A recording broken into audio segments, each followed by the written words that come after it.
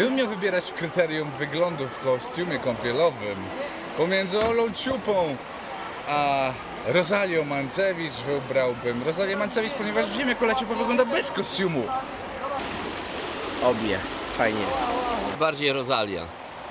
Miska ma bardziej proporcje. Wszystko jest cacy.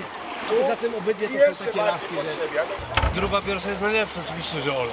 Ona taka chudziutka jest, nie? Taka wiecie, troszkę za dla mnie. A Rozalka nie wiem. Nie przyglądałem się, przepraszam bardzo. Wiem, że była mi Polonii, tak że na pewno jest fajna. Myślę, że chyba Rozalka, nie wiem, nie mam pojęcia. Obie są śliczne, obie są piękne i obie wyglądają e, rewelacyjnie w stroju kąpielowym. Dziewczyny świetnie wyglądają. Naj, najładniej wyglądają jak skaczą do wody z opadu. No powinien powiedzieć tutaj dyplomatycznie, że obie panie wyglądają rewelacyjnie, ale z racji tego, że Rosalia jest w mojej grupie, to powiem, że Rosalia. Nie wiem, no ona ma swoje walory i Rosalia ma swoje walory. Przypomnę tylko, że Rosalia była Miss Polonią, czyli tą najpiękniejszą Polką.